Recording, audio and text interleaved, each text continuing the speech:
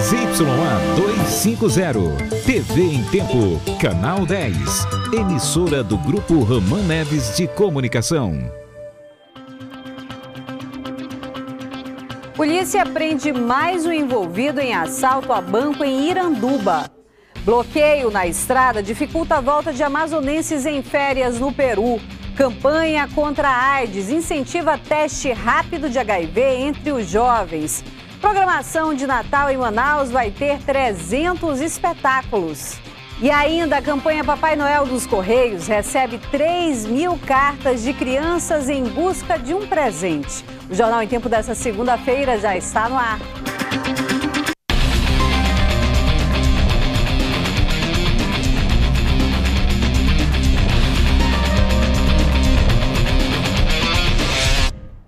Olá para você que acompanha o Jornal em Tempo pela internet.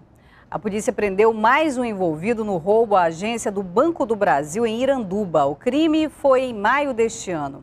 375 mil reais foram levados da agência. Até agora, a polícia ainda não conseguiu recuperar o dinheiro.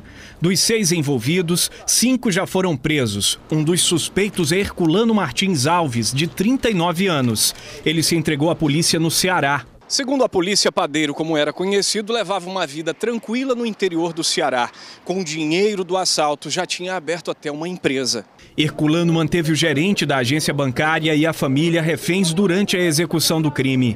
Ele disse à polícia que recebeu 25 mil reais pela participação. Minha participação foi ficar com a família. Não teve muita conversa. Eles, é, foi, eles fizeram a ação e, e mandaram me buscar e eu fiquei para mim ficar lá na casa e eles saíram lá. Quando eu cheguei lá, estava todo mundo já pronto. Herculano Martins, o padeiro, já tinha passagem por porte ilegal de arma de fogo e é suspeito de participar de pelo menos 29 assaltos na região nordeste do país. O apresentado aí já tem um histórico criminoso. Né? Ele em 2010 ele teve mandado de prisão preventiva, no envolvimento de, 10, de 29 roubos naqueles estados. Né? E já responde também por receptação e porte ilegal de arma de fogo. Agora mais esse delito aí na ficha. Ainda de acordo com as investigações, o sexto suspeito já foi identificado e também está fora do Amazonas. Herculano vai responder por roubo majorado e sequestro. Duas pessoas foram presas e dois menores apreendidos durante uma tentativa de sequestro a um taxista na Zona Norte. Houve perseguição policial. O motorista estava no porta-malas do táxi no momento da abordagem. Os dois homens e os dois menores haviam rendido o taxista com uma arma na Zona Norte. Eles foram detidos depois que perderam o controle do veículo e pararam no canteiro central da Avenida das Torres. Com eles havia uma arma e celulares. O flagrante foi feito no 6 Distrito Integrado de Polícia, na Cidade Nova. Os menores foram encaminhados para a delegacia especializada em apuração de atos infracionais. E as eleições municipais do ano que vem não vão ter urnas eletrônicas. A votação vai ser manual. Vamos conversar agora ao vivo com o repórter Diego Cativo, que está no TRE. Boa noite, Diego. É isso mesmo, Marcela. A decisão já foi publicada no Diário Oficial e é para conter gastos. A Justiça Eleitoral quer economizar nas eleições municipais do ano que vem. Isso porque pouco mais de 428 milhões não serão repassados, prejudicando a aquisição e a manutenção de equipamentos. E essa decisão gera tanto que uma polêmica, porque gera uma discussão em relação à segurança do voto. Porque nós já evoluímos para a eleição eletrônica, agora vamos ter que voltar para a manual que desde o ano de 2000 não era realizada. Mas essa decisão não anula o cadastro biométrico que está sendo feito feito e a expectativa aqui no Amazonas é que até fevereiro do ano que vem seja finalizado. E atualmente aqui em Manaus, pouco mais de 687 mil pessoas já foram cadastradas.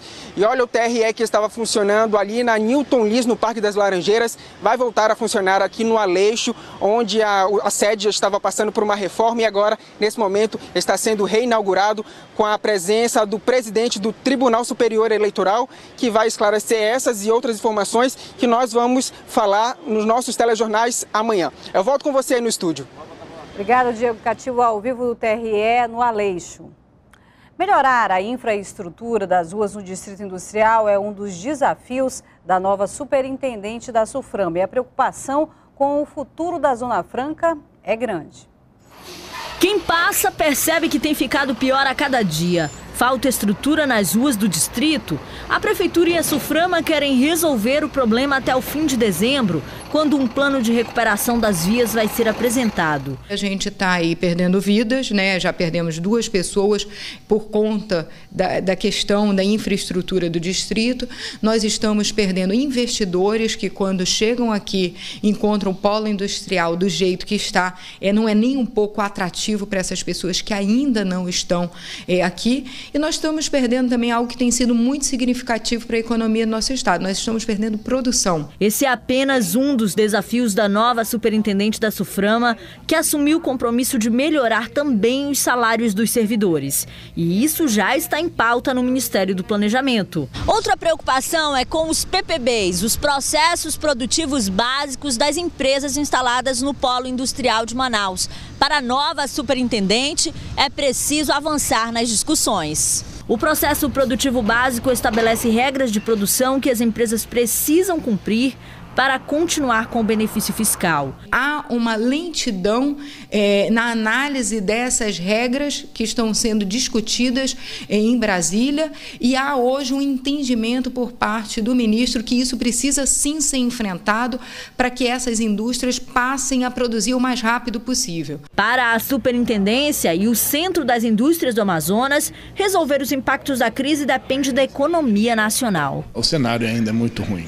A gente não tem expectativa de melhoria porque nós não temos notícias por parte do governo federal de medidas a serem implementadas que nos levem a ter esse otimismo de pensar numa retomada. Até agora, 24 mil pessoas foram demitidas do polo industrial de Manaus. Além disso, algumas indústrias deram férias coletivas devido à baixa produção. Um grupo de amazonenses que viajava de moto pelo Peru está com dificuldades para retornar ao Brasil. Uma onda de protestos bloqueou a rodovia transoceânica que liga os dois países. O grupo saiu de Manaus no dia 16 de novembro e deveria retornar à capital nesta quarta-feira. Mas durante a volta, os cinco amigos precisaram mudar os planos e estão até agora no estado peruano de Cusco. Se por acaso nós tivéssemos algum problema mais sério, alguma necessidade maior que nós recorrêssemos à embaixada ou que fôssemos para Lima. Como isso agora para a gente é inviável também, nós não temos controle das motos, dos carros. Ah, vamos aguardar o que vai acontecer. Em um vídeo gravado pelo celular, o médico amazonense Ricardo Amaral explica que a rodovia transoceânica está bloqueada por causa de uma onda de protestos populares. Desde quinta-feira, que já era o dia de nós retornarmos para o Brasil, nós ficamos aqui em Cusco parados por causa da violência que está se relatando na imprensa local da, da, desse paro, da violência está vendo. Disse, inclusive, em sites locais, dizendo de, de que furaram pneu de ambulância, né? Com doente dentro, tiveram que carregar o doente e levar. Nós sentimos mais segurança ficar aqui em Cusco. Aqui na capital, o jornalista Aguinaldo Oliveira, primo de Ricardo, explica que ainda faltam informações confiáveis sobre os conflitos que impedem o retorno dos brasileiros. Isso que é uma série de greves, a população está revoltada, é uma questão, deve ser uma questão, certamente uma questão política, e, e há relatos de que carros oficiais estão sendo quebrados nas ruas, enfim. Outro integrante da expedição é Odilon, esposo de Lara. Por telefone, ele informou que a situação em Cusco está sob controle e que há segurança no hotel em que o grupo está hospedado, mas os recursos programados para a viagem estão acabando. Quando eles começaram a saber que o que estava acontecendo, eles começaram a segurar dinheiro, deixaram de fazer passeios que eles já estavam que já estava previsto e estão segurando. Então, o pessoal do hotel é um hotel que está dando muito apoio.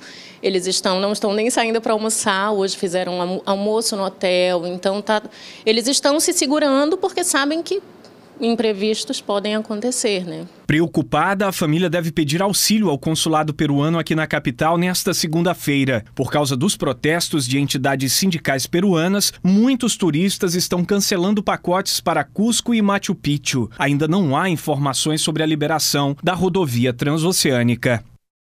Em nota, a assessoria do Itamaraty informou que sabe da situação e já entrou em contato com alguns brasileiros que estão no Peru.